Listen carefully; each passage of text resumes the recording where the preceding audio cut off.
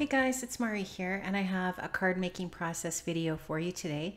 I'm going to be creating a card with a watercolor background and I'm going to be using these Jane Davenport Bright watercolors and I'm going to start off with a piece of Tim Holtz or Ranger watercolor paper and I'm going to use this as my card front. I'm going to just take some of the really pretty pink colors from that palette and I'm going to just start to create just a really loose watercolor background here for my card.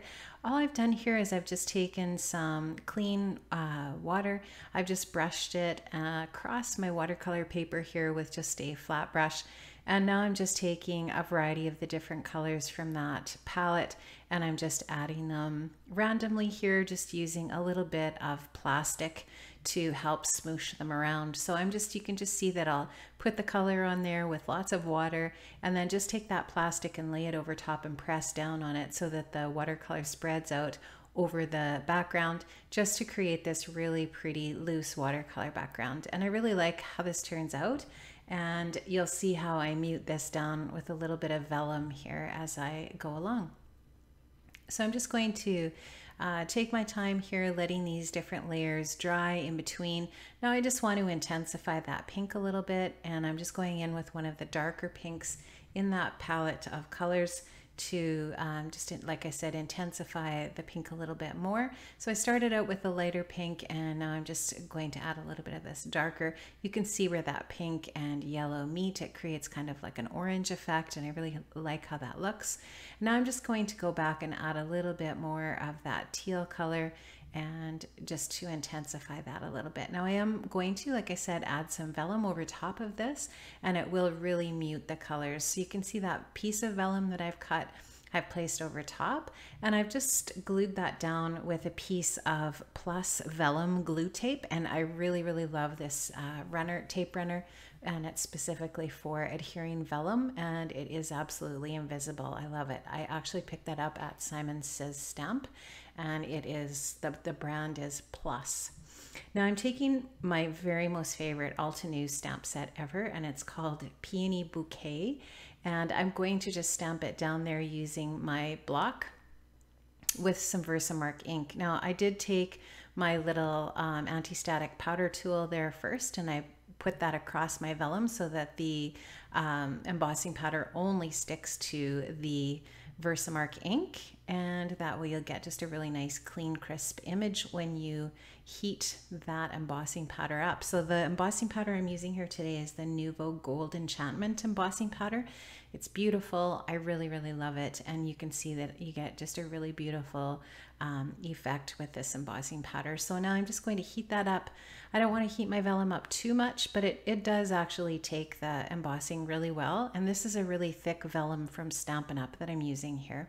Now you can see I added a few more stamps. I added a, a leaf stamp in a couple places from that same set and another bloom. And now I'm just going to take this Simon Says Stamp Thanks die and I've cut it with my Big Shot out of both some yellow glitter paper from Recollections and some white craft foam.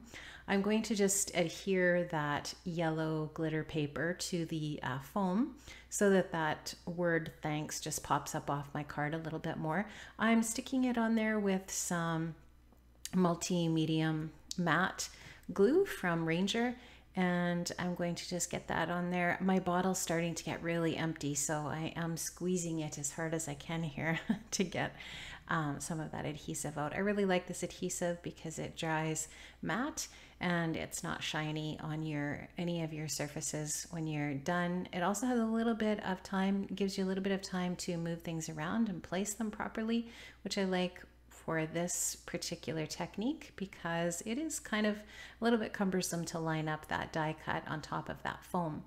I really like how that looks. I like the yellow glitter on top and just makes the um, the yellow even in that background stand out a little bit more and it just really pops nicely off of the card.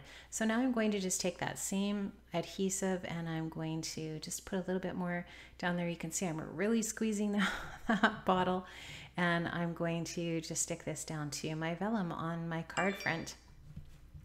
And I'm actually going to then adhere this just to uh, a card base that is um, some 110 pound Neenah Solar White cardstock. So you'll see that here in a minute. There it is. Just going to adhere this down to a side folding card base. And I'm actually going to just take uh, my favorite things scallop uh, frame in the rectangle shape and I'm going to take that same yellow glitter paper and I'm going to just take my Tombow Mono glue and I'm going to adhere this down to my card front as a frame behind that watercolor piece that I'm going to add onto my card here in a second. So I'm just going to take that now. I'm going to put quite a bit of um, ATG adhesive on the back of my watercolor paper here because I want it to flatten out on my card. It's a little bit warped from the water. And I'm going to just get lots of adhesive on there and stick that down really well to my card front. And that is going to almost finish off the front of my card.